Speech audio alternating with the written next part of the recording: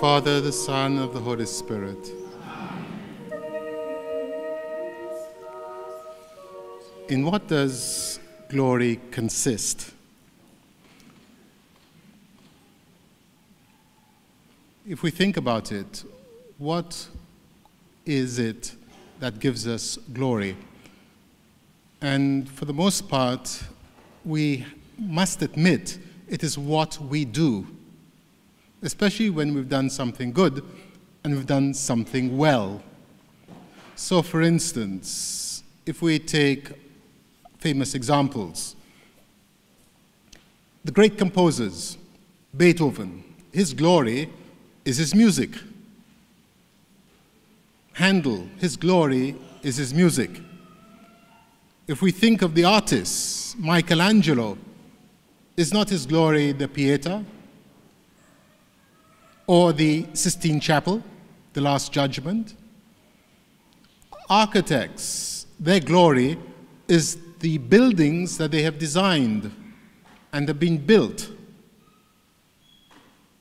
But for us who are not great composers, or composers for that matter, or artists or architects, what is our glory?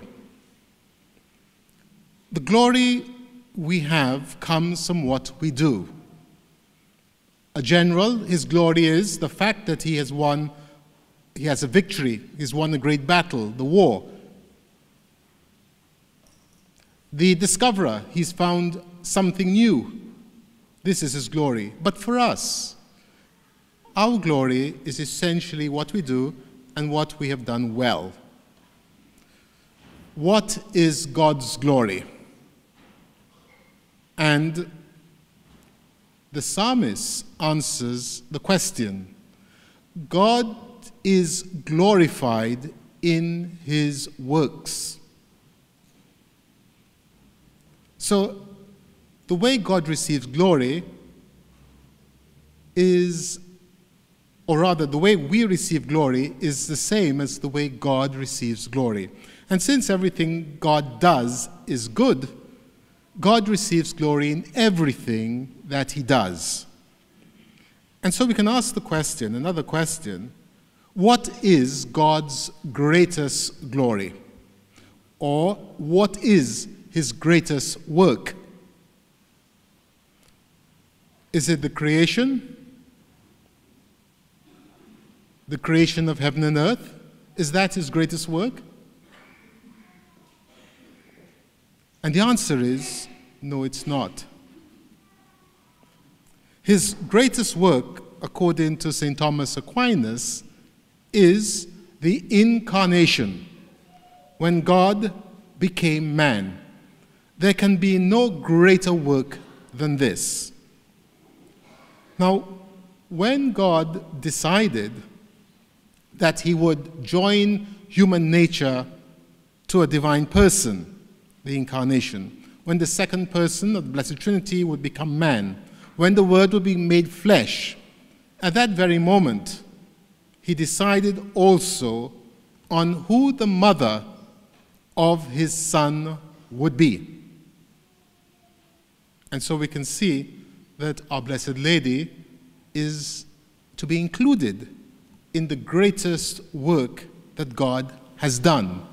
God is glorified in all of his works.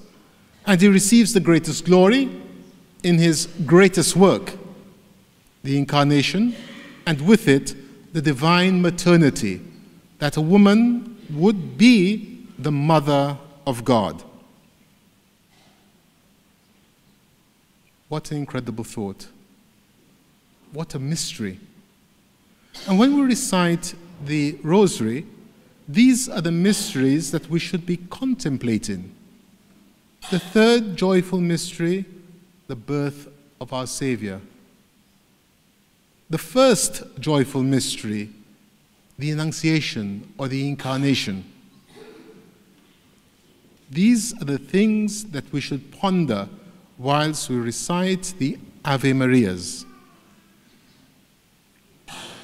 But if we start at the beginning, because the incarnation, we are told by St. Paul, occurred at the fullness of time. At the fullness of time, God sent his only son, born of a virgin, born of a woman. If we go back to the beginning, God created the heavens and the earth. In particular, he created our first father, Adam, created out of the slime of the earth, yet with the very breath of God in his nostrils so that Adam became a living being. A living being inasmuch as he was a spiritual being. And with the breathing of the divine breath, God gave to Adam all the natural knowledge that he needed. Just as he gave to each and every angel the natural knowledge that it needed. He also gave to Adam a glimmer, an insight into supernatural things. In other words, what was to be his final destiny union with God. Perhaps even an inkling that he would become like God. But this desire to be like God can only be achieved in the way that God intends it. After all, St. John tells us in his prologue, the first chapter, that he gave them power to become sons of God. That's us, that we could become children of God. That's us, each and every one of us. But this desire, this insight, was corrupted by the tempter who came and suggested that we could become like God Himself our way, as it says in the song. And this, in fact, the um, national, national, the anthem for hell is I did it my way. As Christians, as believers, we are to do it God's way. Those who choose to do it their way end up in hell, a very real place.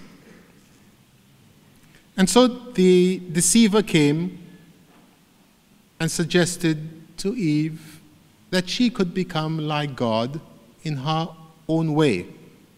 And sadly, Eve believed and brought disaster on all of us all of her children. There is something else about glory. When a work has been destroyed, whether it be a building or whether it be a painting or a sculpture, what can the artist or the creator do? Well, he could just cast it aside and create a new one, make another one. Yes, but it wouldn't be the same. But a really great, a master craftsman, he would take what has been damaged and he would repair it and make it even better. Isn't that so? That's what a master craftsman would do. He would take what has been damaged, repair it, and make it better. Think of a dress. A seamstress has made a dress. It's beautiful. It, got, it gets torn. If she's really talented, then she would take that tear and incorporate it in the dress, making it even more beautiful. And that is what God did to our world. It had been destroyed, it had been damaged, by Adam's sin. And so God, the master craftsman, decided not to destroy it or to throw it away, but rather to repair it and to make it even better. And to do this, he determined on the incarnation. He himself, the eternal God, would put on mortal flesh, would suffer, would die, would rise again and he would have a glorious body. And not content with this, he would give to all those, all of us, who believe in him, the promise that we would have glorious bodies as well. So that the old Adam, which is still in us, would be repaired. And how could that take place? With the seven sacraments. These would repair what is damaged in the old Adam, in all of us. So our sins are forgiven. We are reborn in baptism. And when we fall into sin, we can repair that through the sacrament of confession and the anointing of the sick. We will be strengthened along the way with the Holy Eucharist. We would be strengthened also with the sacrament of confirmation and have the Holy Spirit accompany us on our journey. Our works would be sanctified, hence marriage. And we would have ministers, the priesthood. And all of this is repairing what had been damaged by the first Adam. The second Adam has elevated us. So, whereas before we were merely servants of God, now Christ says, I call you servants no longer, but friends. And more than friends, he has made us children of God, co heirs with himself, destined for eternal life, to rule with the angels, to be eternally happy. Most religions, which are natural, natural religions, there's only one true religion, and that is Christianity. And within Christianity, there's only one true version the Catholic Church. This is the church Christ founded. This and no other. Most natural religions have some myths, legends of gods becoming men. But in all of them, these gods are merely copies of wicked human nature. So, whether it be in the Greek, Zeus, who puts on human forms to seduce women, or Apollo, or whoever, these are never real gods. But the idea remains, perhaps it was given to Adam, that one day God would become man so man could become God.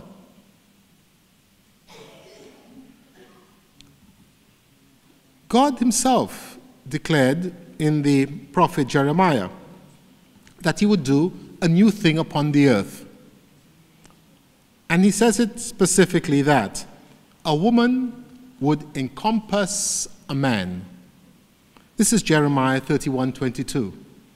What does this mean? A woman will encompass a man. Well, let us see. There is in all of us a desire to be great. We would like to be important. We, each one of us, thinks of ourselves as special. And we are. We are unique. There isn't another person in all the universe, throughout all the ages, like us. There is no one like us in creation. We, each one of us, is unique. Isn't that a wonderful thought? We're a universe all by ourselves. We all desire to be great, but we recognize not all of us will be great. There'll be some will be greater and some will be less. Few of us are content to remain at our level, our station. In our thoughts, Success is to go up. That is good. As long as we do it God's way. Let us take an example. James and John came to our Lord whilst the Lord was going to Jerusalem to be crucified. They thought that the kingdom would appear at any moment. They said, Master, we would like you to do us a favor. What is it? Grant that we will sit on your left hand and on your right hand in your kingdom. And the Lord said, You do not know what you're asking for. And then he asks a further question. He said, Can you drink the chalice I'm about to drink? And they said, We can. He said, Very well. You will drink it. But for the seats on the left and the right, they are not mine to give to you. They belong to those for whom they have been prepared. The Lord didn't say for whom, but he recognized that this desire for excellence, to, to climb up, had to be some way redirected. And so he says the way to do it is through suffering. Drink the chalice. So he teaches all of us that true greatness lies in suffering. How many of us like to suffer? I don't see any hands. We don't want to be great? Not that way, not God's way. You want to be great your way, right? God's way is through suffering. Not even the angels wanted to stay at their level, or some of the angels didn't want to stay at their level. One of them said, I will ascend to the heavens and I will place my throne above the throne of God. And there was no place found for him in heaven. He was cast down, the great serpent. So there is a desire for greatness. Lowliness is the opposite. What is another word for lowliness? And the answer is humility which perhaps comes from the word humus, which means earth. And this humility is not a natural virtue, it's a supernatural one. It is where a person submits his or her will to that of another. All of us are called to be humble by submitting our will to God, God's will.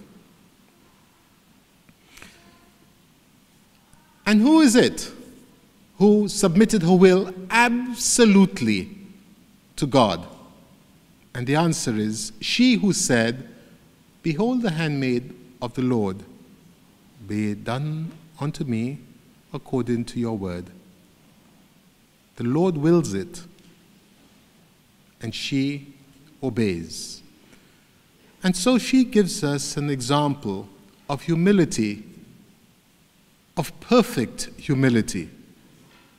Yet, she also said, Henceforth, all generations will call me blessed. So, humility doesn't mean that we deny what we are. On the contrary, humility is an affirmation of what God has done in us. That He has created us unique.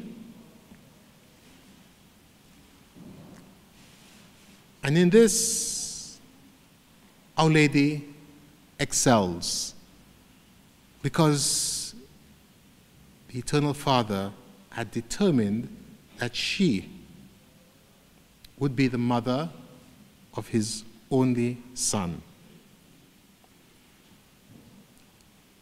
And the son, he would show the greatest act of humility by becoming man. Because there is no one greater than God. Is there? Nothing is greater than God. Yet, as St. Paul tells us, have this in mind that Jesus, though he was in the form of God, emptied himself to become a slave. And being humbler yet, he accepted death, death on a cross. And so we have this act of humility demonstrated to us by God Himself. He calls each and every one of us to imitate it. Have this in mind. God has created each and, us, each and every one of us uniquely. There isn't another clone of us. There is no copy of us. There is no other person in all of creation like us. He has given each of us a place. He himself said so. When Thomas said, Lord, where you're going, he said, You know the way to the place I'm going. He says, How do we know the way? We don't know where you're going. I am the way. And he said, The Lord said, I am going to prepare you a place. When I have prepared the place for you, I will come and take you so that you can be where I am. This is our destiny to arrive at that place. And we cannot do it our way. The only way to arrive at the place prepared for us before the foundation of the world is to do it God's way. And God's way is the road of lowliness, of humility. May Mary, most holy, who is the exemplar of true humility, teach us to be truly humble and to want nothing other than to do God's most holy will. In the name of the Father, the Son, of the Holy Spirit. Ave Maria.